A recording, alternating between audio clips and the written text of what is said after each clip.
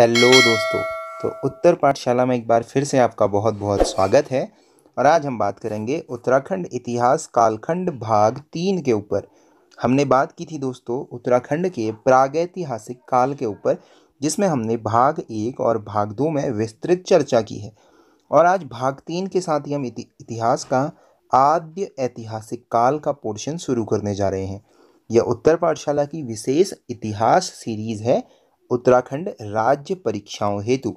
और इसमें आपको सभी चीज़ें बहुत ही डीपली और विस्तृत रूप से हम पढ़ करके बताएँगे। और आपको क्या करना है, नोट्स बनाने हैं साथ में हमारे ग्रुप में अगर आप जुड़े हैं तो कुछ ही टाइम बाद आपको फिर इन नोट्स की पीडीएफ फॉर्म पे मिलने लग जाएगी। तो देखिए, आद्य ऐतिहासिक काल की हम आज शुरुआत करने वाले हैं। ये भी अपने टाइम पे एक अच्छी खासी वीडियो चलेंगी। हमने पार्ट वन और पार्ट टू में ये चीज़ें देखी हैं। और इससे पहले भी हमने इतिहास के स्रोतों के बारे में पढ़ा है। तो दोस्तों, अगर आपने ये दोनों वीडियो नहीं देखी हैं तो पहले आप इन दोनों वीडियो को देख लेंगे और इनकी पुरानी वीडियो भी आप ज़रूर देखेंगे ताकि इतिहास के स्रोतों का आपको पता चल सके। क्योंकि इस आद्य ऐतिहासिक काल में हम बार बार इतिहास के उन्हीं स्रोतों का अध्ययन करने वाले हैं, जो हमने पहले अध्यायों में पढ़ी हुई हैं। तो चलिए शुरू करते हैं दोस्तों। उससे पहले अगर आप चैनल पर नए हैं तो आप चैनल को सब्सक्राइब करेंगे। ट्विटर, इंस्टा, फेसबुक, व्हाट्सएप, यहाँ तक कि टेलीग्राम की लिंक भी आपको डिस्क्रिप्शन में मिल जाएगी। वहाँ से आप जुड़ सकते हैं। इस नंबर पे आप अपना नाम व्हाट्सएप कर देंगे तो हम आपको ग्रुप में भी जोड़ देंगे दोस्तों। तो चलिए शुरू करते हैं आज की वीडियो। तो दोस्तों, आद्य ऐतिहासिक काल की बात करते हैं, जो कब से है? तीन हज़ार बीसी से छः सौ बीसी तक का काल माना जाता है। तीन हज़ार बीसी से छः सौ बीसी तक के काल को आद्य ऐतिहासिक काल मानते हैं। इस काल में हमने अलग अलग चीज़ें पढ़ी थी, जैसे ताम्र पाषाण काल, लौह काल, यह सभी इसी के अंदर आते हैं। तो बहुत से विद्वानों का मत है कि इसी का एक बड़ा पोर्शन वैदिक काल रहा था। इसी आद्य ऐतिहासिक काल का एक बड़ा पोर्शन वैदिक काल रहा था। ऐसा क्यों दोस्तों? थोड़ा सा एक बार आप समझ लेंगे तो ये बहुत आसान हो जाएगा आपके लिए। चलिए, एक बार प्रागैतिहासिक काल की तरफ़ लौटते हैं। प्रागैतिहासिक काल में हमने देखा लघु उद्यार लघु उद्यार है, गोरख्या उद्यार है। इन सभी में इस तरीके से मानवों की कलाकृतियाँ बनाई गई, पशुओं के चित्र बनाए गए, रेखाएँ बनाई गई। ऐसा क्यों? क्योंकि तब के लोगों के पास एक चीज़ नहीं थी। क्या नहीं थी दोस्तों? तब के लोगों के पास कोई लिपि नहीं थी। तो वो क्या करते थे? लिख नहीं पाते थे। वो चित्रों के माध्यम से हमें बताते थे। तो हम चित्रों के माध्यम से केवल समझ सकते हैं कि ये क्या है। जैसे लघु उद्यार में हमने सोचा है कि वो जो चित्र बनाए गए हैं, वो किस चीज़ के हैं? सामूहिक नृत्य के चित्र बनाए गए हैं लघु उद्यार के अंदर। लेकिन क्या हकीकत में वो यही हैं? क्योंकि अगर आप ग्रामीण लोगों से पूछेंगे या क्षेत्रवासियों से पूछेंगे तो वो आपसे कहेंगे, देखिए, लखू उड्यार के चित्र क्या हैं? एक विवाह, दो विवाह जो जा रहे थे, उनके बीच की लड़ाई के चित्र हैं। मतलब चित्रों को हम अपने अपने हिसाब से समझते हैं। लेकिन जब बात आती है किसी लेख की या किसी लिखी हुई चीज़ की तो हम उस चीज़ में कंफ्यूज नहीं होते। हमें पता होता है कि उसमें क्या लिखा गया है और उसी को हम हकीकत मान के चलते हैं। आद्य ऐतिहासिक काल कुछ ऐसा ही काल है। लेकिन दोस्तों, आद्य ऐतिहासिक काल के लिखित सोर्स तो मिले, लिखित स्रोत तो मिले, लेकिन हम उन्हें पढ़ नहीं पाए। क्यों? क्योंकि इस समय की जो लिपियाँ थी, वह हमारी समझ से परे थी दोस्तों। एक संख लिपि है, जिसमें आकार संखों की तरह बनाया जाता था। आप उस संख लिपि को नहीं समझ सकते। हम इस लौ, खो तो इन वर्णों को समझते हैं। लेकिन उस लिपि में क्या लिखा गया था, ये हम समझ नहीं सकते हैं। तो इस समय के इतिहास को हम समझने का प्रयास करें भी तो भी इसके ग्रंथों को हम पढ़ नहीं सकते हैं। ऐसे में हम इस आद्य ऐतिहासिक काल को कैसे समझेंगे? और कैसे जानेंगे कि तीन हज़ार बीसी से छः सौ तक उत्तराखंड में कौन था? तो उसके लिए सबसे बड़ा माध्यम कौन है दोस्तों? साहित्यिक स्रोत हैं। इनके अलावा भी मृदभांड, ज़मीन से बरामद हुई लाशें यानी कि कंकाल ऐसी चीज़ों के माध्यम से भी हमें पता चलता है। जैसे मैंने आपको बताया, इसको लौहकालीन ताम्र पाषाणकालीन चीज़ें भी कहा जाता है। तो हो सकता है हमें कहीं से तांबे के, कहीं से लोहे के कुछ चीज़ें मिलें, उससे हम अनुमान लगाएँ आद्य ऐतिहासिक काल का। पर मेजर सोर्स क्या होगा दोस्तों? साहित्यिक स्रोत। अब ये साहित्यिक स्रोत क्या होंगे? ये मेजरली आपको यहाँ कोई भी साहित्यिक स्रोत, धार्मिक स्रोत देखने के लिए मिलेगा। क्योंकि धार्मिक स्रोत में लिपि क्या थी दोस्तों? संस्कृत हुआ करती थी। और संस्कृत लिपि हम समझते हैं आज भी। तो हम संस्कृत के माध्यम से, इन साहित्यिक स्रोतों के माध्यम से समझ जाते हैं। और तत्कालीन बौद्ध भाषा में, पाली भाषा में लिखे गए जो ग्रंथ थे, उनके बारे में भी हम समझ सकते हैं। तो ऐसे में कई साहित्यिक स्रोतों के माध्यम से हमें पता चला। तो हम ऐसे ही साहित्यिक स्रोतों के माध्यम से समझेंगे कि आद्य ऐतिहासिक काल के दौरान उत्तराखंड में क्या कुछ चल रहा था और कौन कौन रहते थे। चलिए शुरू करते हैं ग्रंथों से। तो पहला ग्रंथ ऋग्वेद है। बहुत ज़्यादा महत्वपूर्ण ग्रंथ है दोस्तों, और ऋग्वेद के अलग अलग ब्राह्मण ग्रंथ भी बहुत महत्वपूर्ण है। ब्राह्मण ग्रंथ क्या होते हैं? किसी वेद के अंदर अनेकों उपनिषद हम कहते हैं कि उनके बारे में लिखा गया, उनके बारे में उन वेदों को आसान भाषा में समझाने के लिए लिखे गए चीज़ें। तो ब्राह्मण ग्रंथ जो होते हैं, वो इनके ही भाग होते हैं, वेदों के ही भाग होते हैं दोस्तों। तो ऋग्वेद में उत्तराखंड का पहला उल्लेख देखने के लिए मिलता है। उत्तराखंड का प्रथम उल्लेख, उत्तराखंड के इतिहास का प्रथम उल्लेख, उत्तराखंड आद्य ऐतिहासिक काल का प्रथम उल्लेख, यानी कि उत्तराखंड का प्रथम उल्लेख, पहला उल्लेख हमें कहाँ मिलता है? ऋग्वेद में मिलता है। याद रखिएगा, बहुत महत्वपूर्ण प्रश्न है और इससे पहले भी हम पढ़ चुके हैं कि ऋग्वेद में उत्तराखंड को देवभूमि या मनीषियों की भूमि कहा गया है। ये हम पहले भी पढ़ चुके हैं, ये इस पर ज़्यादा फोकस नहीं है। प्रथम बार उल्लेख उत्तराखंड का किसमें आता है? ऋग्वेद में आता है। ब्राह्मण ग्रंथों में बद्रीनाथ का उल्लेख हमें देखने के लिए मिलता है।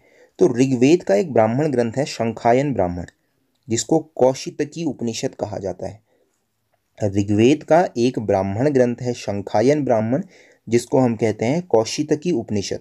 तो कौशितकी उपनिषद में लिखा गया है कि उत्तराखंड में एक बद्री आश्रम है दोस्तों। और ये बद्री आश्रम जो है, यह वाक देवी का निवास स्थान है। उत्तराखंड में वाक देवी का निवास स्थान जो है, वो कौन है? बद्री आश्रम। तो ये किसमें पता चला हमको? कौशितकी उपनिषद में। इसी प्रकार से दोस्तों, स्कंद पुराण बहुत महत्वपूर्ण है। इससे प्रति वर्ष प्रश्न पूछे जाते हैं किसी न किसी क्वेश्चन पेपर में। स्कंद पुराण के अंदर हमें पाँच भाग पढ़ने के लिए मिलते हैं दोस्तों। ध्यान से सुनिएगा, स्कंद पुराण के पाँच खंड हैं। अच्छा कौन कौन से? हम पहले पढ़ चुके हैं। पहला खंड है केदार खंड दूसरा खंड है मानस खंड तीसरा है जालंधर, नेपाल, कश्मीर। ध्यान से सुनिएगा केदारखंड मानस खंड, जालंधर, नेपाल और कश्मीर।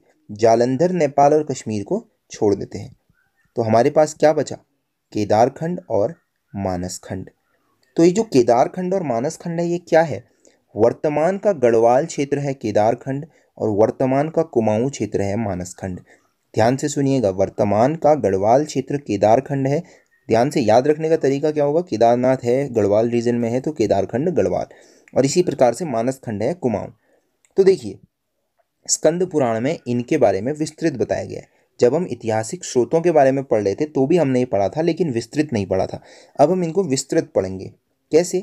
चलिए, केदारखंड के बारे में बात करें तो केदारखंड के बारे में इस उपनिषद के अंदर, या हम कहें कि इस ग्रंथ के अंदर क्या बताया गया है? इसका विस्तार बताया गया है। कहाँ से कहाँ तक बताया गया है? तो इसका विस्तार बताया गया है दोस्तों, माया क्षेत्र से श्वेत पर्वत तक। अच्छा माया क्षेत्र की जगह एक और नाम आता है गंगा द्वार से श्वेत पर्वत तक। अच्छा तो ये माया क्षेत्र और गंगा द्वार क्या है? ये वर्तमान का हरिद्वार है। तो हरिद्वार से लेकर श्वेत पर्वत तक, अब ये श्वेत पर्वत क्या है? हिमालय है। यानी कि हरिद्वार से हिमालय तक का जो क्षेत्र था उसी क्षेत्र को केदार खंड कहा गया है। तो अब यहाँ से ही क्वेश्चन क्या बना था दोस्तों? हरिद्वार का पुराना नाम क्या था? और ऑप्शन में था माया क्षेत्र। तो आपको आंसर मिल गया आपके प्रश्न का? बहुत बढ़िया। ऐसी चीज़ों को आपको समझना है। देखिए, लिखा क्या गया है? स्कंद पुराण के केदारखंड और मानस खंड के अंदर ये चीज़ें लिखी गई हैं। तो केदार खंड में क्या लिखा गया है स्कंद पुराण के? ये कि माया क्षेत्र से लेकर श्वेत पर्वत तक का क्षेत्र केदार खंड है। चलिए, अब लेकिन उस समय ये था, वर्तमान में ये क्या है? हरिद्वार से लेकर हिमालय तक के फैले हुए क्षेत्र को केदारखंड कहा गया है। तो अब आपके लिए समझना इजी हो गया कि माया क्षेत्र या गंगा द्वार ये किसको कहा गया है? हरिद्वार को। या फिर इसका एक और विस्तार देखने के लिए मिलता है दोस्तों, केदारखंड का। यानी कि गढ़वाल के बारे में हम बात कर रहे हैं। तमसा नदी से बौद्धांचल पर्वत तक का क्षेत्र क्या कहलाएगा? केदारखंड। तमसा नदी करंट अफेयर में भी पढ़ा था, टॉन्स नदी। अब भी करंट अफेयर में पढ़ा है। रिसेंटली हमने कुछ दिनों पहले टॉन्स नदी, यमुना की सहायक नदी है दोस्तों। इसने रिसेंटली अपना जलस्तर क्रॉस कर लिया था। सबसे ज़्यादा ये बही थी काफ़ी वर्षों बाद। खैर, ये तो हमने पढ़ा। ये इसके बारे में आपको मैंने करंट अफेयर में बताया हुआ है। दिखा कीजिए करंट अफेयर भी दोस्तों। तो तमसा नदी से लेकर बौद्धांचल पर्वत तक का क्षेत्र केदारखंड कहलाएगा। तो फिर ये तमसा नदी तो टॉन्स नदी है, चलिए समझ गए हम। ये बौद्धांचल पर्वत कौन सा नया पर्वत है? तो आपने सुना होगा नंदा देवी पर्वत, यानी कि नंदा देवी पर्वत जो है दोस्तों, इस पर्वत से तमसा नदी तक के क्षेत्र को केदार खंड कहा गया है। चलिए एक काम कीजिए कमेंट बॉक्स में आप मुझे बताएँगे कि जो नंदा देवी पर्वत है, इसके बारे में कोई खासियत है क्या? मतलब जैसे कि उत्तराखंड में इसका क्या महत्व है? उत्तराखंड के जीएस में इस नंदा देवी पर्वत का क्या महत्व है? ये आप मुझे कमेंट बॉक्स में बताएँगे दोस्तों। बहुत स्टैटिक जीके का क्वेश्चन है नॉर्मल इसके साथ ही नंदा देवी पर्वत का एक और नाम हमें देखने के लिए मिलता है दोस्तों, बधाड़ पर्वत। ये बधाड़ पर्वत जो है दोस्तों, ये एक पर्वत श्रेणी है। जैसे हिमालय पर्वत श्रेणी है ना, हिमालय एक पर्वत, दो, तीन, ऐसे बहुत से पर्वतों से मिलकर बनाए ऐसे नंदा देवी पर्वत श्रेणी को बधाड़ पर्वत कहा जाता है। बधाड़ पर्वत श्रेणी का नाम है।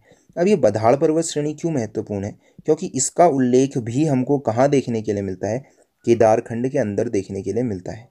केदारखंड के अंदर बधाड़ पर्वत का उल्लेख क्यों मिलता है? कुछ ही देर में आपको पता चल जाएगा। फ़िलहाल आपने केदारखंड का विस्तार देखा। हरिद्वार से श्वेत पर्वत, हिमालय हिमालय तक, तमसा नदी से बौद्धांचल पर्वत, यानी कि नंदा देवी पर्वत तक का क्षेत्र केदारखंड कहलाएगा दोस्तों। अगला है मानसखंड। मानसखंड कहाँ से कहाँ तक? नंदा देवी पर्वत से कालागिरी तक का क्षेत्र। ये देखिए कालागिरी। अभी कुछ टाइम पहले पढ़ा है हमने, कल परसों की वीडियो में कालागिरी पढ़ा है हमने, इतिहास की दृष्टि से, आद्य ऐतिहासिक काल से पहले प्रागैतिहासिक काल, उसके बारे में भी कालागिरी पर्वत से पता चला है। चलिए नंदा देवी पर्वत से कालागिरी तक का क्षेत्र मानस खंड कहलाया है।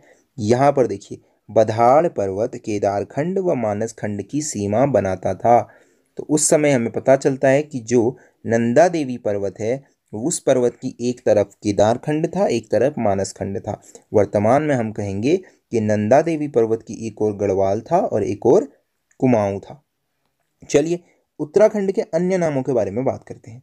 उत्तराखंड के अन्य नाम उत्तरखंड, ब्रह्मपुर खशदेश हिमवंत, पुण्यभूमि, ऋषिभूमि, पर्वत क्षेत्र, तपोभूमि, बद्रिकाश्रम, सात नदियों का संधि स्थल आदि आदि हैं।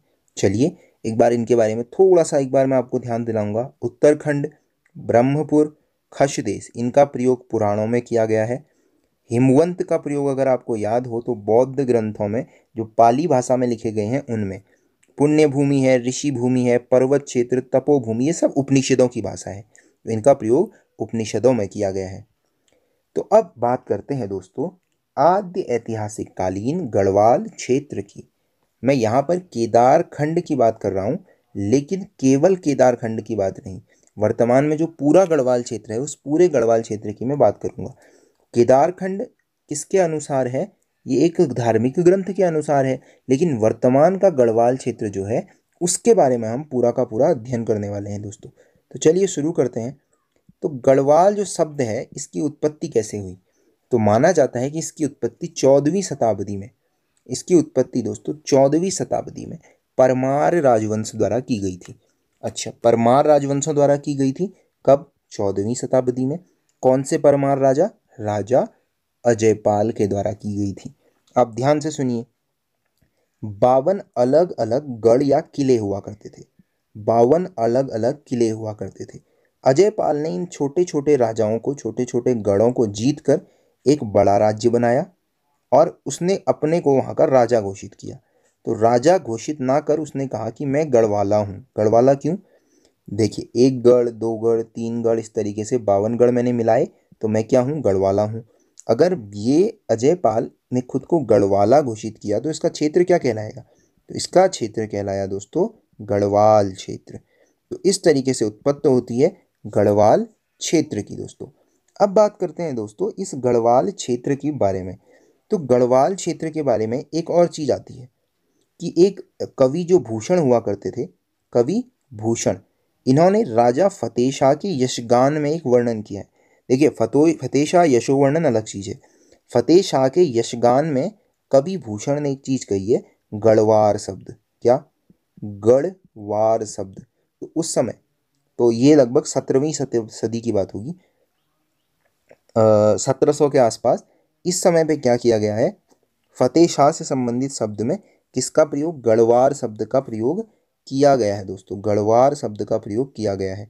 लेकिन ध्यान दीजिएगा, चौदहवीं शताब्दी में ही इसका प्रयोग अजयपाल के द्वारा कर दिया गया था। तो ये नोन फैक्ट है, इसके बारे में ज़्यादा माना जाता है। और इसके साक्ष्य जो है, ये सत्रह सौ का एक ताम्रपत्र है। गढ़वाल का शब्द उसमें लिखा गया है। फतेह शाह से संबंधित एक ताम्रपत्र है, उसमें गढ़वाल शब्द का उल्लेख है। इसका मतलब गढ़वाल शब्द काफ़ी पहले आ चुका था। अच्छा मैं ये आपको क्यों बता रहा हूँ कि काफ़ी पहले आ गया था? क्योंकि यहाँ पे एक कंट्रोवर्सी है दोस्तों। हुआ क्या था कि शिव प्रसाद डबराल जी कहते हैं कि 1815 में 1815 में मौलाराम जी ने सर्वप्रथम गढ़वाल का प्रयोग किया। अब देखिए 1815 से पहले ही चौदहवीं शताब्दी, सत्रहवीं शताब्दी में इन शब्द का प्रयोग हो चुका है तो इस वजह से हम इसको छोड़ते हैं। लेकिन एक प्रश्न हो सकता है कि शिव प्रसाद डबराल के अनुसार सर्वप्रथम गढ़वाल शब्द का प्रयोग किसने किया? तो किसने किया? मौलाराम ने किया। प्रसिद्ध चित्रकार भी थे दोस्तों, और क्या थे? इन्होंने क्या किया है? गढ़वाल से संबंधित इतिहास पे भी काफ़ी काम किया है मौलाराम ने। तो इसीलिए ये एक कोट करने वाली बात हो गई, ये आपको याद होना चाहिए। फ़िलहाल राजा अजयपाल के थ्रू गढ़वाल आपको देखने के लिए मिला। चलिए शिव प्रसाद डबराल के बाद बात की जाए गढ़वाल के पुराने नामों की तो बद्रिकाश्रम, तपोभूमि स्वर्ग भूमि केदारखंड सप्त सिंधु देश, इन सभी क्षेत्रों को गढ़वाल ही कहा गया है। तो गढ़वाल के पुराने नामों में बद्रिकाश्रम, तपोभूमि स्वर्ग भूमि केदारखंड सप्त सिंधु आदि चीज़ें सम्मिलित हैं। तो ये सारे के सारे नाम गढ़वाल क्षेत्र के रहे तो हमने देखा गढ़वाल के बारे में दोस्तों। अगली वीडियो में हम बात करेंगे कि गढ़वाल क्षेत्र के अंदर और क्या क्या प्राप्त हुआ है साक्ष्य के तौर पर, जिससे हम ये कह सकें कि गढ़वाल के भीतर आद्य ऐतिहासिक कालीन लोग रहते थे। तो ये तो कुछ ऐसे साक्ष्य मिले जो लिखे हुए थे कि देखिए, ये हुआ, यहाँ ये आए, यहाँ ये हुआ, इस तरीके का देखने के लिए हमको मिला। हमने देखा कि महाभारत कालीन है, हमने देखा कि कुछ ग्रंथ हैं, उनमें लिखा गया है कि गढ़वाल क्षेत्र था, उसमें लिखा गया है कि कुमाऊँ क्षेत्र था, लेकिन इनमें साक्ष्य भी तो होने चाहिए, केवल लिख देने से नहीं होगा। तो अब उन साक्ष्यों के बारे में हम अगली वीडियो में जानेंगे दोस्तों। तब तक आपको क्या करना है? नोट्स बनाने हैं, वीडियो को शेयर करना है चैनल को सब्सक्राइब करना है और अपने दोस्तों से भी करवाना है। लाइक ज़रूर करना है दोस्तों, और Twitter Insta Facebook WhatsApp Telegram जहाँ से आप जुड़ना चाहें जुड़ सकते हैं हमसे। और दोस्तों, याद रखिएगा सब्सक्राइब आपको ज़रूर करना है शेयर करना है जितना जल्दी आप हंड्रेड व्यूज़ पहुँचा दें, उतना अच्छा है। मैं नेक्स्ट वीडियो डालने में ज़्यादा मोटिवेशन मिलेगी दोस्तों, और मैक्सिमम लाइक प्लीज़ लाइक किया कीजिएगा दोस्तों। So thank you till next video